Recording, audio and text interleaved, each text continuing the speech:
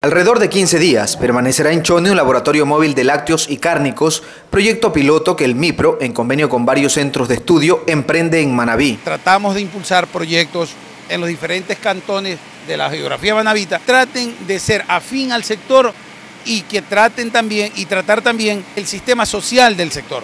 Ya por decir, en Chone lo fuerte es el queso, la leche, en el Carmen por decir el plátano, y en, Puerto López la pesca. Entonces tratamos de acuerdo al sector fortalecer a través de proyectos lo que ellos están haciendo. A ver, nosotros como universidad nos ha permitido, nos permiten estar involucrados en este proyecto con la mano de obra, nuestros estudiantes y nuestros técnicos de nuestra universidad. Como te digo, este es un proyecto del MIPRO, donde nos ha permitido a nosotros como universidad seamos parte de él con la, con la mano de obra.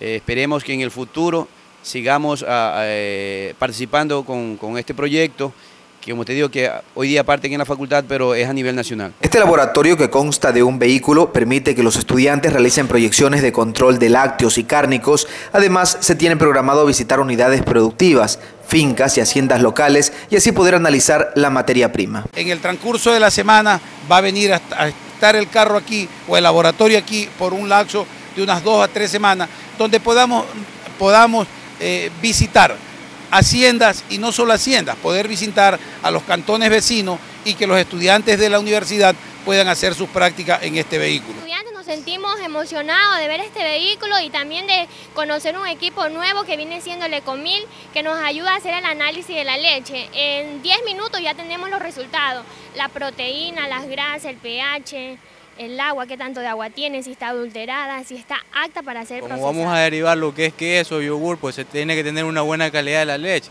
ya que si esta viene adulterada con agua u otra sustancia, pues va a bajar el rendimiento y también puede causar una eh, lo que es tipos de enfermedades, si viene adulterada con harina o almidón que le salen tirar. Esto realmente constituye un estímulo para la producción ganadera, cárnica, eh, para, para el aprovechamiento del cuero.